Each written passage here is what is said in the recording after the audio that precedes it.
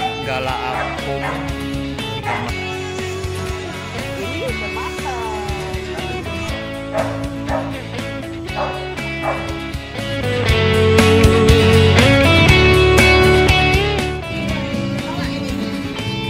warnanya oranye Aja kue wangi bisa dimakan ya. Iya, iya. Jahe, patin, bawang, kawet.